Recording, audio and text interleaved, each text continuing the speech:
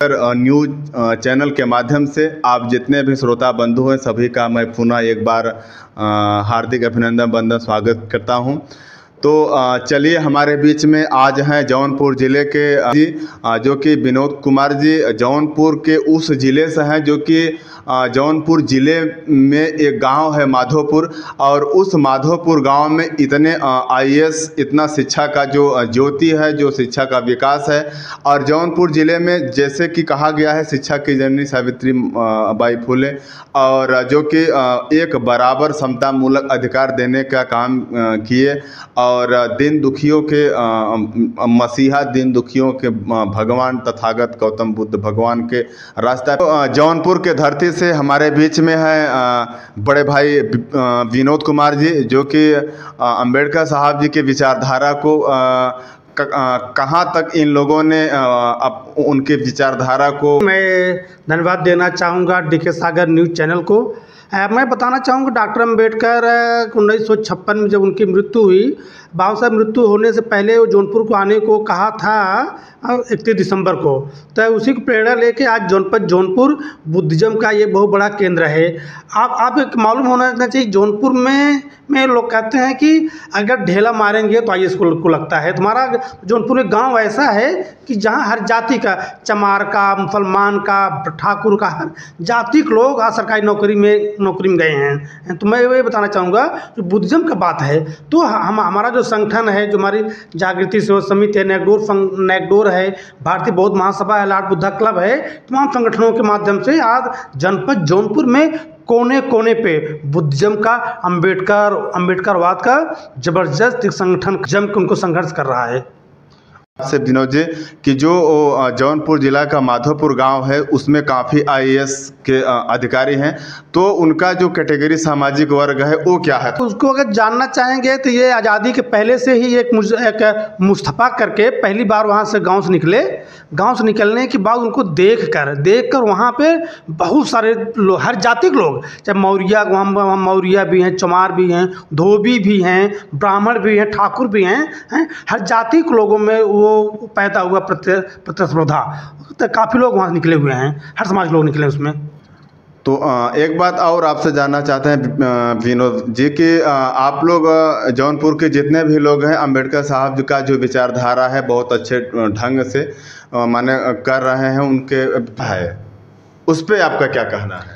जनपद जौनपुर में अगर बाइक प्रतिज्ञा को आप लेंगे तो हम जिस गाँव में पैदा हुए हैं, वह एक पूरे देश का इकलौता गाँव है कि जहाँ बाइक प्रतिज्ञा को पालन होता है।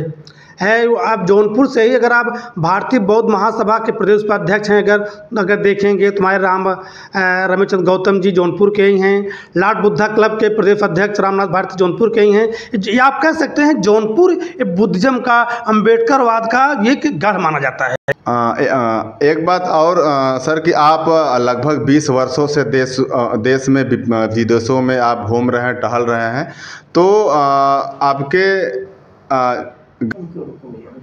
आप जौनपुर से निकल करके सामाजिक संगठन के माध्यम से देश में, विदेश में आप जा रहे हैं और काम कर रहे हैं, लेकिन उससे आपके जौनपुर के जो हम लोग हैं, उस, उन लोगों पर क्या असर पड़ रहा है? मैं आपको बताना चाहूँगा कि मैं मैं 20 साल से देश, विदेश में, चीन में, जापान में, मंगोलिया में, नेपाल में मुझे जाने का मौका मिला। देश के जो बड़े बड़े पदों पे हैं, मुझे प्रधानमंत्री के साथ, राष्ट्रपति के साथ, कई मुख्यमंत्रियों के साथ योजना आयोग के अध्यक्ष के साथ, मैंने कई साथियों के साथ, मैंने दलित मुद्दे को लेकर अंबेडकर मिशन को लेकर मैंने बात किया। उस बात से मैंने अपने दलित समाज के कि ये जौनपुर ही नहीं, पूरे प्रदेश में हमने उनके हक, अधिकार, शिक्षा, सुरक्षा, सम्मान की लड़ाई हमने लड़ा है।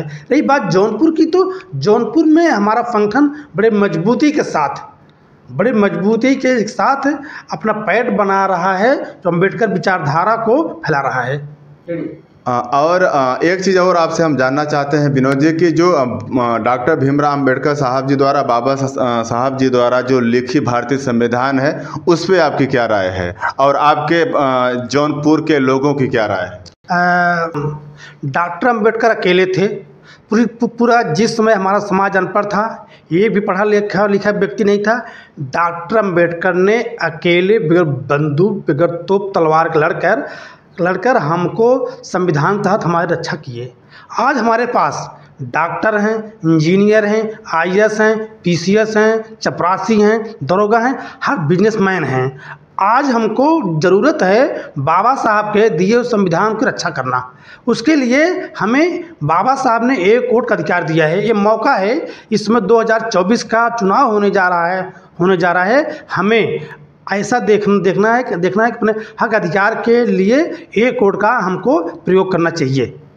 तो हमें मतदाता जागरूकता का और रही बात हमारे संगठन का, हमारा संगठन संगठन बाबा साहब के मिशन को भारतीय संविधान की रक्षा के लिए जनपद जौनपुर नहीं, पूरे पूर्वांचल के कोने कोने में हमारा संगठन काम कर रहा है। जो जो इतने लोग आप इतनी बड़ी भीड़ देख रहे हैं रहे हैं, ये संविधान की और हमारे संगठन की देन है।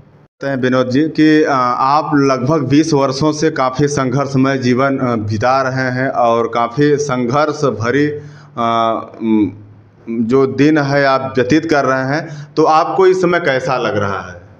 मुझे बहुत सुकून मिल रहा है कि मेरा 20 साल का रिकॉर्ड 20 साल की मेहनत आज मेरी उम्र लगभग 40 साल की हो रही है। 20 साल में हमने जो संग, जो संघर्ष किया है हमारे संघर्ष का प्रयास है बहुत सारे बच्चे आज नौकरी में गए हैं व्यापार में गए हैं बिज़नेस में में आए हैं। हैं हमारे संघर्षों की देन है कि आज बहुत सारी लड़कियाँ जो आज ग्रेजुएसन पोस्ट पोस्ट ग्रेजुएसन कर रही हैं वो पढ़कर आज एक मुकाम पा रही हैं। आज हमारी देन है हमारे संगठन का देन है कि अगर आज हम समाज सेवा में ना होते कहीं नौकरी करते व्यापार करते तो आज मुझे इतना लोग ना जानते। और जिस दिन मैं मरूँगा तो तो मेरे नाम लेने वाले एक नहीं दो नहीं हज़ार नहीं लाखों लोग मेरे नाम लेने वाले होंगे। ये मुझे बहुत सुकून मिल, मिलता है। जो मैं इस सामाजिक कार्य में सामाजिक फ़ील्ड में आया बाबा साहब की देन है जो हम लोग आज यहाँ पर आए।